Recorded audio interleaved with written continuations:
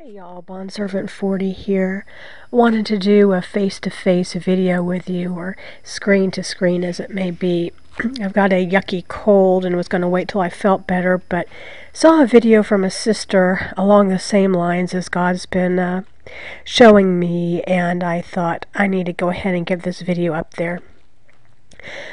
I was reading in Second Kings, uh, chapter 22, and it's about Josiah, who began to reign when he was eight years old, and that he did what was right in the sight of the Lord, and walked in the way of David his father, and turned not aside to the right hand or to the left.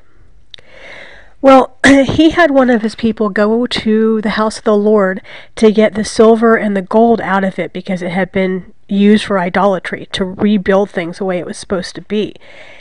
And when he came back out of the house of the Lord, in verse 8, it says, Hilkiah the high priest said to Shaphan the scribe, I have found the book of the law in the house of the Lord.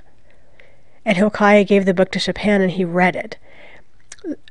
Then it came to the king, and when the king heard what was written in the book of the Lord, he tore his robe, he rent his clothes and uh, you know he said woe to us because the lord's wrath is coming on us because we haven't done what was written.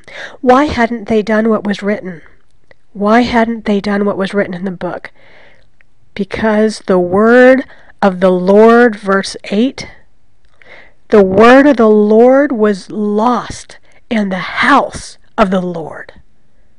Brothers and sisters do we not see that today? How many places that call themselves churches are teaching another gospel and preaching another Jesus. And the word of the Lord is lost in the house of the Lord. Now, there's some churches that are faithful, but as a whole, we see this. Oh, we see this. And let us be one that brings the word of the Lord back into the house of the Lord. It's a sad day when God's word is lost in God's house.